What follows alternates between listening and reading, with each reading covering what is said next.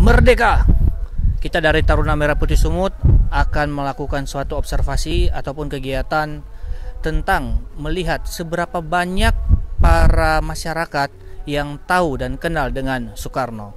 Setelah itu kita akan bersama-sama dengan kumpulan mahasiswa dan para pengamen untuk menyanyikan lagu Garuda Pancasila.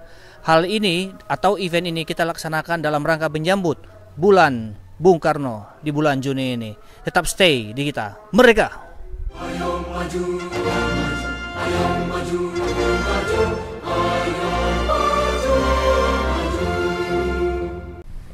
Ya, sekarang kita berada di taman, salah satu taman di Kota Medan. Kita akan meneliti dan mengobservasi seberapa banyak sih yang tahu tentang Bung Karno atau Soekarno.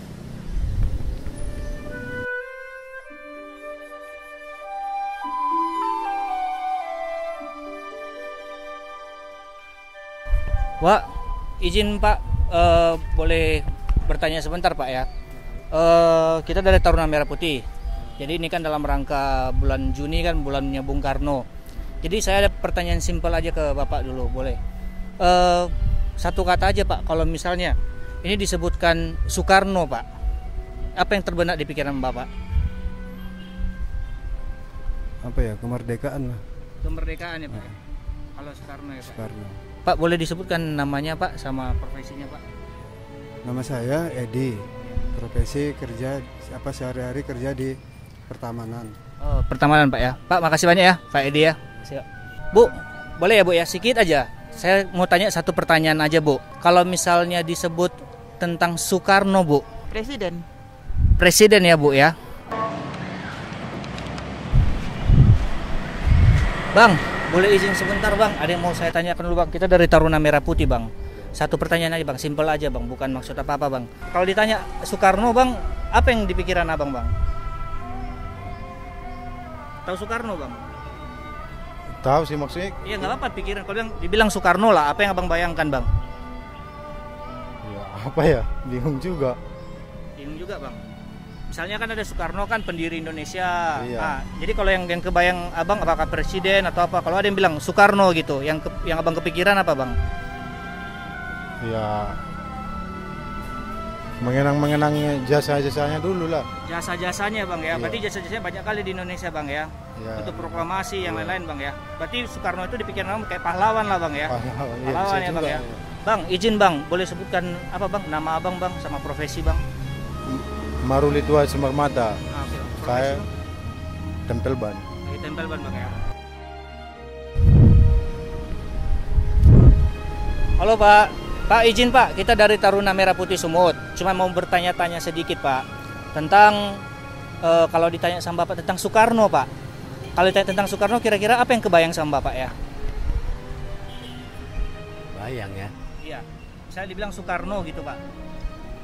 Ya relawan dia lah gitu. Keberanian dia. Keberanian dia pak ya? Iya.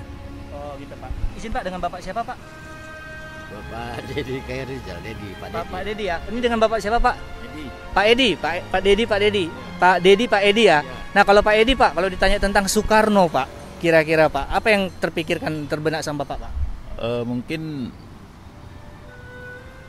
merdeka kita ya kemerdekaan nah, ya, pencetusan merdeka itu aja. Jadi proklamasi yang diproklamirkan itu yang kita perlu iniin. Yang keringan ya, ya sebagai proklamator. Itu aja sih. Oh, gitu, Pak. boleh tahu Pak profesi Pak Edi dan Pak Dedi apa Pak ya? Uh, pedagang. Pedagang ya? Jualan rujak. Oh jualan rujak ya Pak ya? Itu juga Pak Edi. Oke jadi kita dari Taruna Merah Putih Pak. Jadi dalam rangka bulan Juni ini bulan Bung Karno Pak. Bulan lahirnya Bung Karno. Jadi kita mengobservasi Pak meneliti uh, seberapa banyak sih orang yang masih ingat tentang Soekarno dan jasa-jasa beliau? Ada nggak yang terkenal gitu dari Soekarno yang sampai mengingat oh ini Soekarno gitu pak? Uh, filmnya lah paling. Filmnya pak ya, ada filmnya dulu pak ya. Oh jadi itu yang bikin kita jadi tahu ya pak? Ya? Iyalah ya? itu aja. Oke oh, oke okay. siap Pak Edi. Pak Edi makasih banyak pak ya atas waktunya ya.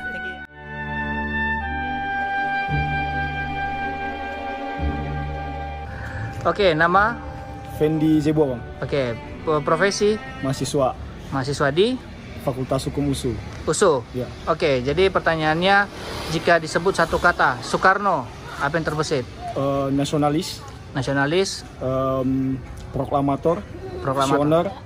Visioner juga. Ya visioner juga. Oke, jadi yang kamu tahu peranan Soekarno untuk bangsa dan negara kita apa? Yang paling besar ya jadi tokoh proklamator yang memerdekakan Indonesia. Oke, satu lagi. Jika dikaitkan dengan jurusan apa tadi? Jurusan hukum. Hukum. Kira-kira berkaitan dengan hukum ada nggak yang berkaitan dengan Soekarno? Em, mungkin eh, dalam em, memerdekakan Indonesia ya, eh, Soekarno sangat berperan penting dalam menyusun sistem hukum Indonesia yang supaya bisa memadukan hukum-hukum adat di Indonesia ini bisa jadi satu menjadi hukum nasional di Indonesia. Mungkin itu bang. Oke, mantap. Thank you, Fendi. Oke, bang. Siap. Ah, ya, namanya siapa? Memo, Memo. Ya. Oke, profesi, status, mahasiswa mahasiswa di mana?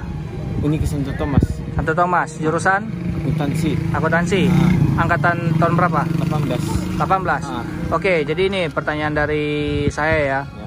Apa yang terbenak kalau misalnya saya sebut satu kata yaitu Soekarno, Presiden, presiden? ya, Oke, presiden keberapa? ke pertama, Pertama. ya, Oke, jadi peranan Soekarno bagi bangsa Indonesia apa yang kamu tahu? sebagai bapak proklamator, Proklamator. ya, Pada tahun Ta- pada pada tahun 45, 45, Ya. 1945. ya, Oke, mantap. Thank you, Memo. oke. Oke, namanya siapa? Nama saya Stephen, Eh, status atau profesi mahasiswa mahasiswa di universitas mana ya? Universitas Katolik Santo Thomas Oke, jadi kalau misalnya saya tanyakan satu kata tentang Soekarno, apa yang terbesit dalam benak Anda? proklamator, Proklamator. Oke, eh, namanya siapa? Fajar, Profesi mahasiswa, mahasiswa di universitas negeri apa swasta? negeri, Negeri ya. Ini ada alat musik ini. Selain itu ada ini hobi musik atau ada apa gimana? hobi musik, sekarang nyari duit receh juga, uang jajan. Oh, tapi bukan jadi pekerjaan utama kan, tetap jadi mahasiswa kan, mahasiswa yang benar kan. Oke, ini pertanyaan saya dulu ini. Kira-kira menurut ini kan udah ada bajunya ini. Nah, dalam rangka Hari Pancasila ini. Nah, oke, jika misalnya saya sebutkan satu kata, Soekarno, apa yang terbesit dalam pikiran? proklamator, Proklamator. Oke, selain itu ada nggak? Kalau dibilang Soekarno gitu. Dan itu itu aja sih. Itu aja. Oke, kalau ditanya peranan Soekarno, tahu Soekarno kan memang kan? tahu. Taunya dari mana? Tahu dari sejarah. Oh, sejarah. Oke. Orang penting lah di bangsa ini. Orang tahu. Nah, dia kan orang penting. Jadi kalau ditanya peranan Soekarno bagi bangsa kita. Nah, yang pertama dulu dia itu sebagai proklamator kemerdekaan kita Hmm. Sekaligus menjadi presiden pertama dan banyak karya-karya di negara kita ini. Oh, mantap. Salah satu karyanya Salah satu karyanya ya Indonesia Merdeka. Indonesia Merdeka ya. Oke, oke. Thank you. Oke. Garuda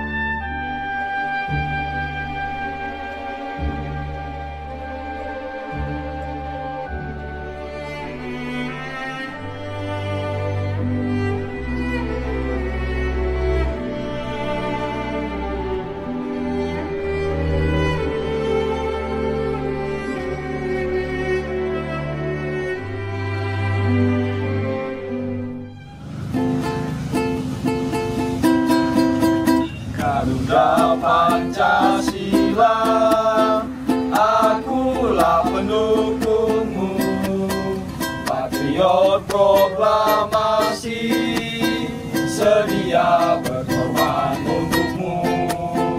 Pancasila dasar negara. Rakyat adil makmur sentosa